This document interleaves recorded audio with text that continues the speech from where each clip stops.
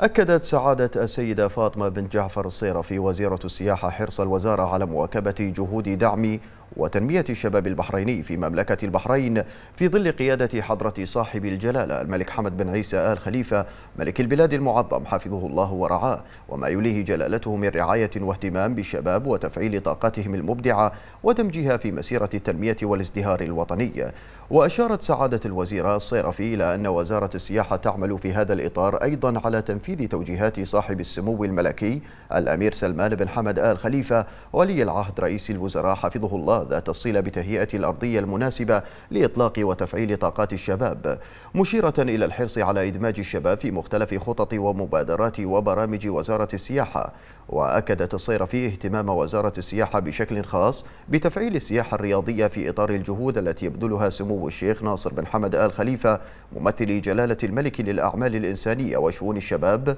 رئيس المجلس الأعلى للشباب والرياضة ومبادرات سموه العديدة للنهوض بواقع ومستقبل الشباب البحريني وتمكينه. وكذلك مساهمات سمو الشيخ خالد بن حمد آل خليفة النائب الأول لرئيس المجلس الأعلى للشباب والرياضة رئيس الهيئة العامة للرياضة رئيس اللجنة الأولمبية البحرينية وتمكين الشباب البحريني الرياضي من تحقيق إنجاز تلو الآخر. وأشارت سعادة وزيرة السياحة إلى أن الوزارة تعمل على تقديم المزيد من الدعم للشباب البحريني وتشجيعهم على الانخراط في القطاع السياحي والاستفادة من فرص العمل والنمو التي يوفرها هذا القطاع إضافة إلى تشجيع الشباب على إطلاق أعمال وشركات مختصة بالسياحة والترفيه تسهم في دعم ازدهار القطاع السياحي.